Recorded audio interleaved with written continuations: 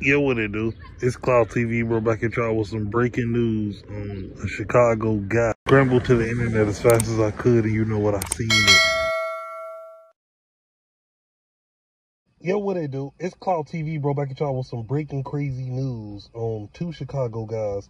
One that goes by the name of King Yella, and another guy that goes by the name of FBG Butta. A lot of people been tagging me like, yo, Clout, have you seen what, you know, King Yella has done?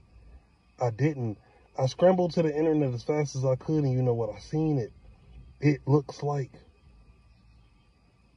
King Yella has ripped FBG Butta apart, bro. Uh, King Yella is making fun of FBG Butta because I guess FBG Butta got beat. Uh, he was robbed. He was beat and robbed. Uh, we all know uh, the guy that goes by the name of Mikey Dollaz.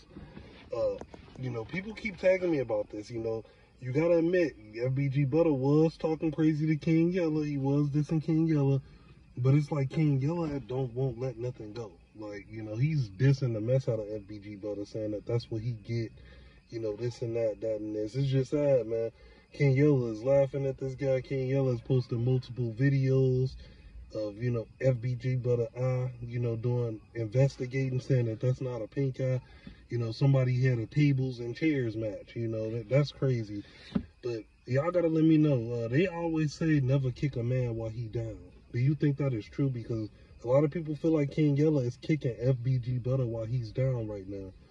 You know, we even heard that FBG Butta was robbed for money and his jewelry by his own friends, Mikey Dollaz and them. But y'all let me know what y'all think about this, man. Uh, donate to Clout TV Super Thanks. to video you'll have four different options to fit your budget. We really appreciate each and every last one of you guys. Hey, it's Clout TV, and we out of this thing. Gang.